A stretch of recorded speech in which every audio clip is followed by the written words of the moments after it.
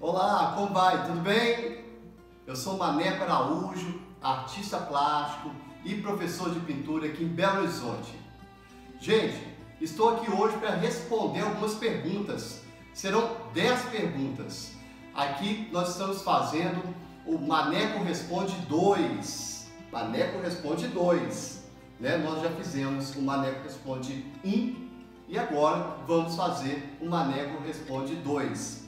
E temos algumas perguntas aqui super interessantes que vai dar para tirar algumas dúvidas de muitas pessoas. E ó, não esqueça de se inscrever no meu canal, viu? Este ano vamos ter muitas novidades, vamos trabalhar com várias técnicas, as técnicas contemporâneas, clássicas. Eu vou estar é, com aulas online, você vai amar. Então vamos lá? Agora, turma, vamos responder aqui as perguntas. A primeira pergunta é da Elizabeth. Ah, mas antes, antes de responder as perguntas, eu vou explicar como foram feitas essas perguntas.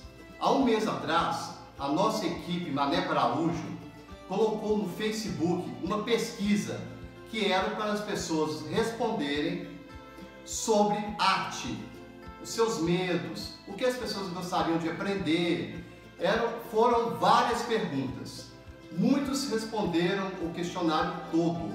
Tivemos mais ou menos 3 mil participantes. Foi muito bom, adorei e agradeço você que respondeu o, o questionário. Né? E aqui nós temos algumas perguntas que foram selecionadas. Se eu não responder a sua pergunta agora, é, talvez no Maneco responde 3, 4, 5, a sua pergunta será respondida. Tá? Então vamos lá. A primeira pergunta da Elizabeth. É, como eu pinto com tinta acrílica e MDF? A Elizabeth pergunta, Maneco, como eu pinto com tinta acrílica e MDF? Tenho dificuldades de entrar com uma cor na outra. Quer dizer, ela está falando aqui que ela tem dificuldade de criar a fusão de uma cor na outra, que é uma dificuldade normal que muita gente tem. E o que você aconselha? Né? É, Elizabeth e, e todos aí que trabalham com tinta acrílica. A tinta acrílica, ela realmente não é simples você trabalhar com ela para criar fusões, porque ela seca muito rápido e acaba criando aquelas bolinhas, né? Aqueles plásticos que, que que ficam. É, não, é, não é simples, mas existem algumas regras, né? Primeira coisa, para o MDF é bom você fazer uma base às vezes. Né? Existem vários produtos que você pode fazer uma base. Né? Eu gosto muito de usar o gesso acrílico. Ah, para mim, o gesso acrílico é a melhor, melhor base que tem para fazer tudo, em tela, em caixas, né? madeira e etc. Então, uma fusão com a tinta acrílica, você pode usar também água ou pode usar o médium, que aí retarda um pouco essa secagem. Você pode dar a primeira camada, depois dar uma outra camada, da metade né, para o fim, e aí você pode estar tá esfumaçando ou velando com água. Mas se você raspa com pouca tinta, você não vai criar um resultado tão interessante. Que dá para criar um resultado, dá, viu? Mas não, você não vai conseguir ficar muito tempo esfregando, porque vai criar aquelas bolinhas e vai tirar a tinta. Então é isso aí. Se eu conseguir responder a sua pergunta, eu fico satisfeito. Vamos para a próxima pergunta. Agora vamos para a segunda pergunta. Só que antes, eu gostaria de, de falar para você que se você ainda não conhece a minha página do, ou no Facebook ou a minha página pessoal www.manecoaraújo.com.br Entra lá e conheça um pouco do Maneco Araújo, as suas obras. Eu vou ficar muito feliz. Obrigado. Agora vamos lá. É, José Henrique Soares da Silva. A pergunta e, ó, e vem da cidade de Ares, Rio Grande do Norte. Obrigado, Rio Grande do Norte. Obrigado aí, é, José Henrique. Então vamos lá. Qual o segredo para se ter uma boa e real pintura de paisagem? Muito interessante essa pergunta, hein? Qual o segredo para ter uma boa pintura e realista, né? Uma pintura realista de paisagem. É... E como pintar de forma mais realista? Então vamos lá. A primeira coisa, para que você consiga pintar algo mais realista, é a observação. Né? Tem que começar a aguçar sua observação. Porque se você não tem um olhar técnico, um olhar apurado das cores e entender o efeito delas, fica um pouco difícil você conseguir uma pintura realista. E para se conseguir uma pintura realista, primeiro aprender a trabalhar cores. Eu tenho um vídeo aí que vai sair agora, né, das minhas aulas online, que é pintando somente com cinco cores. Aquelas cores da impressora, você sabe qual que é, né? É magenta, amarelo e azul, né? Yellow, ciano e magenta. Nós vamos aprender, aí tem o preto e o branco. Então nós vamos aprender a pintar da forma que a impressora aí da sua casa, aquela impressora que está aí do seu lado aí, que consegue fazer coisas realistas somente com essas cores. Se ela consegue, por que, você não vai conseguir? Então, aprenda a misturar cores e aí colocar as cores nos locais certos. É claro, nós temos as pinceladas, né? É, a técnica de aguadas, de veladuras, de esfumaço, mas isso tudo a gente vai aprendendo com o tempo. Mas nada você vai conseguir, nada que você não tente muitas vezes, nada que você não tente muitas vezes, você não vai conseguir. Você tem que tentar refazer, fazer novamente, eu tenho certeza absoluta que você vai conseguir uma pintura realista. De novo, colocando cores nos locais certos e esfumaçando, criando um jogo de luz e sombra, e assim eu tenho certeza absoluta você vai criar um efeito maravilhoso. Agora vamos à terceira pergunta. É Sueli Fagundes Moreira. A cidade dela é Ilhéus. Cidade maravilhosa, hein? É, do estado da Bahia. Gente, é, ela pergunta: como posso fazer um workshop aí em BH? Sueli e toda a turma né, que tem interesse em fazer workshop. Aqui em BH eu não faço workshops, né? É, geralmente eu já dou aula normalmente aqui no meu ateliê e em outros ateliês aqui em Belo Horizonte. Mas, caso queiram é, um workshop com Maneco Araújo aí em sua cidade, vocês podem contratar. Este ano, eu agora, esse final de ano, eu fiz workshop no Paraguai, né? E fiz em Aracaju, que foi um sucesso. Vocês podem olhar aí no meu canal do YouTube o, o resumo desses workshops. Foi, foi muito legal, fiquei muito feliz, todos saíram satisfeitos e eu só tenho que realmente agradecer aí os organizadores.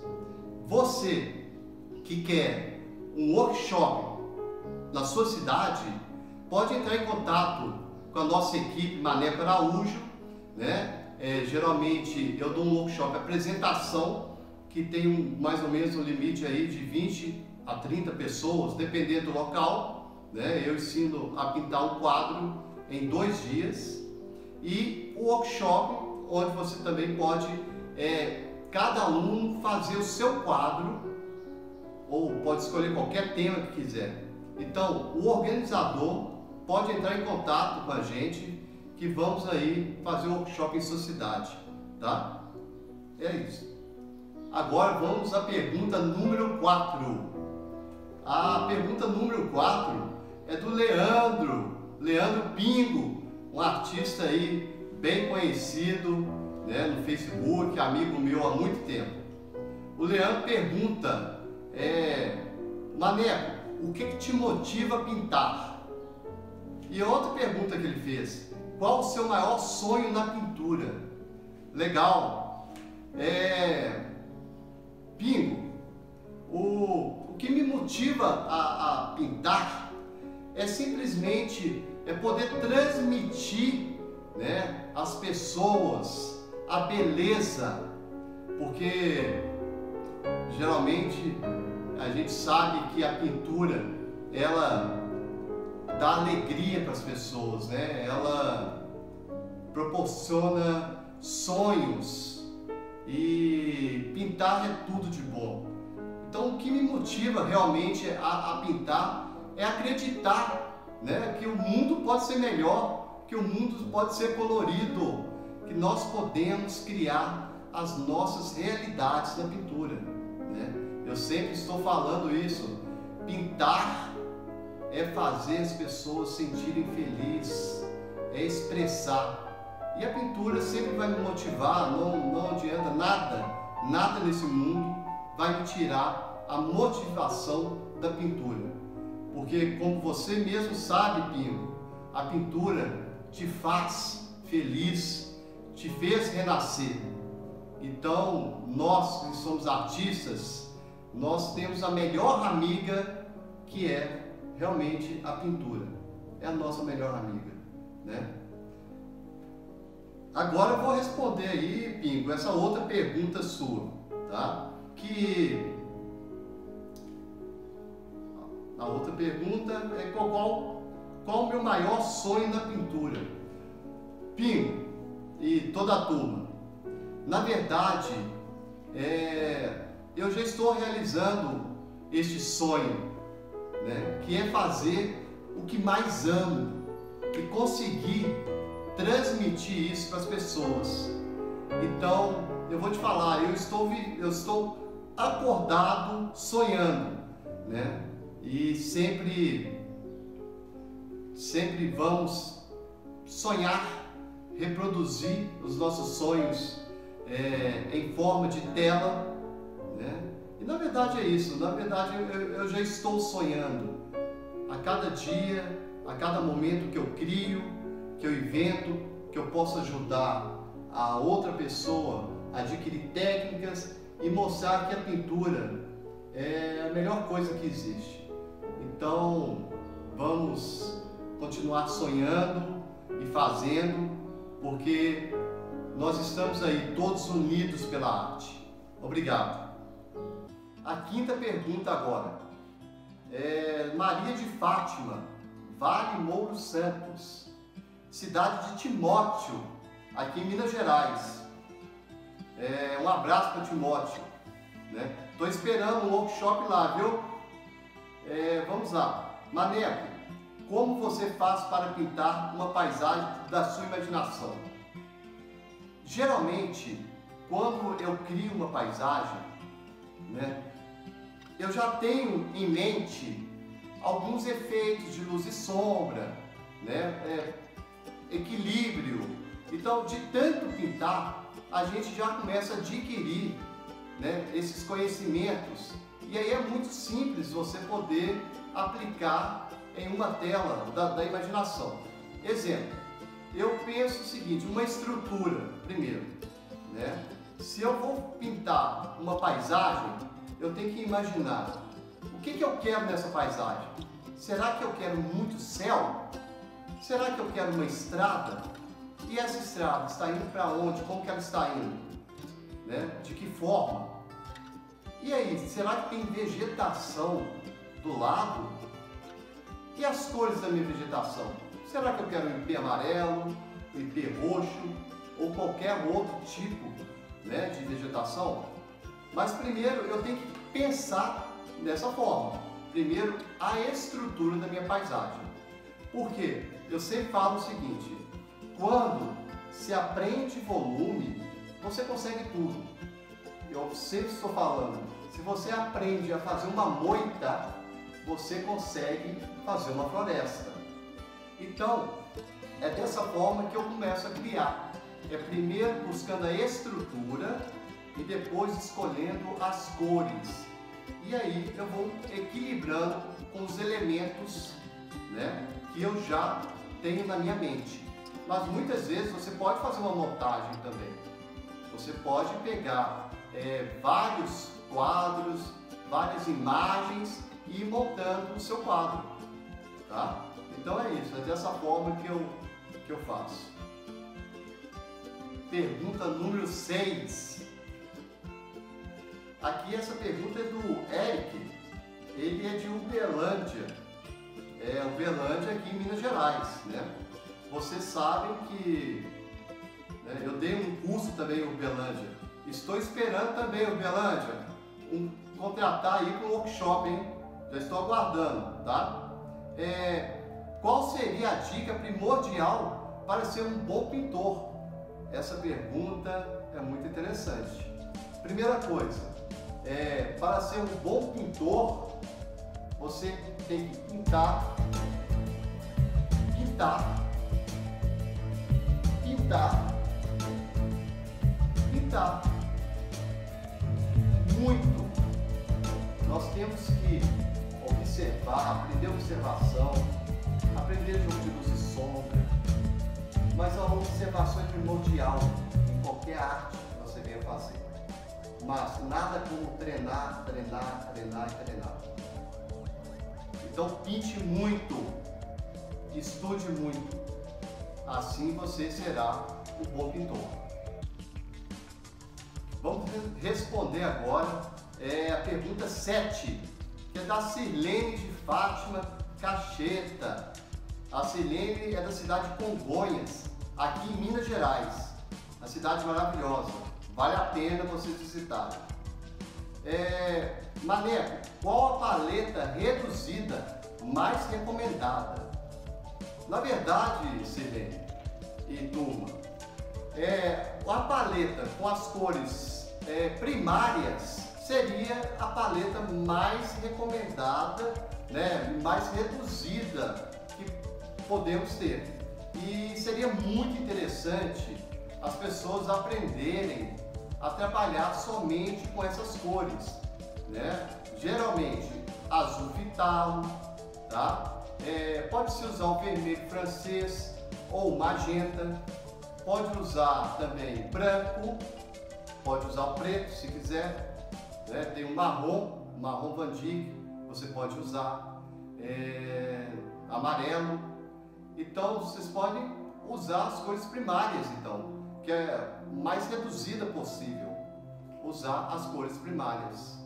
Pergunta 8, é, ela vem né, é, de Ribeirão Preto, São Paulo. É Vamos lá, quem que é? A Célia. Tudo bem, Célia? Célia, a Célia pergunta: a tinta a óleo faz mal para a saúde? Célia e toda a turma. É, geralmente, né, a gente sabe que se a gente pintar num local fechado, respirando né, aquele cheiro, automaticamente vai criar sim problemas de saúde. Então, eu aconselho sempre, né? Tudo que vocês mexem com química, e isso em lugar fechado, você está respirando aquele vapor, né? E que pode prejudicar sim a saúde. Eu recomendo que todos pinte em ambiente arejado, né, com um ventilador se for possível. Se caso você venha pintar né, dentro de um ateliê, e tiver muito fechado, coloca um ventilador que em direção para sair todo esse, esse vapor né, do, da tinta. Então é perigoso sim se você é, pintar em ambiente fechado. Hoje é, as tintas a óleo elas já não tem tanta química assim, né? não tem tanto chumbo, mas não, não vale a pena arriscar não. Então um ambiente arejado é o melhor. Vamos lá, pergunta 9. É, José Roberto Souza, a cidade de Brasília, Distrito Federal. Brasília, eu estou aguardando também o workshop, viu? É, vamos lá. É, vamos lá, o José Roberto pergunta: Como você aprendeu a pintar? Né? Maneco, como você aprendeu a pintar? E você daria aula de graça é, Zé Alberto, é, daria aula de graça? Sim, mas na internet é, eu tenho várias dicas, né, várias aulas gratuitamente, né, eu tenho DVDs aula, eu tenho aulas via Vimeo, né, ah, eu amo dar aula, né, e, mas nós precisamos também né, de dinheiro, trabalhar, então eu amo tanto o que eu faço que muitas vezes eu não me incomodo de ensinar gratuitamente as pessoas, tá? E você pergunta aqui como como eu aprendi a pintar. Eu aprendi a pintar somente pintando, pintando, né? E querendo muito. E eu decidi fazer isto. Eu decidi pintar e isso seria o que eu faria o resto da minha vida.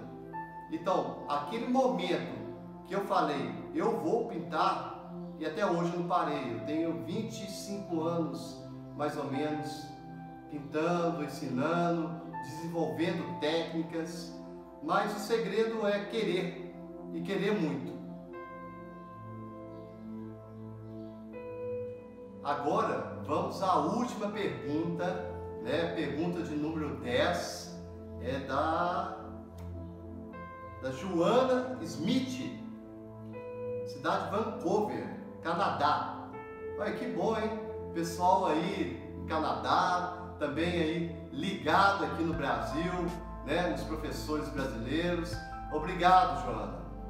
A Joana pergunta aqui, Maneco, como é quando você vai fazer as aulas online, né? Eu quero muito aprender, porque aqui no Canadá é um pouco difícil de ter professores e quando serão as aulas, né? Que, quando eu vou lançar as aulas? Eu, Joana, o negócio é o seguinte, é, nós estamos trabalhando muito aqui, é um conteúdo, é muita coisa, né? Vamos fazer a, as aulas online do principiante ao avançado nós vamos ter muita coisa, vamos aprender perspectiva, cores, composições e será um pacote, né? Nós pretendemos lançar isso aí lá para talvez março.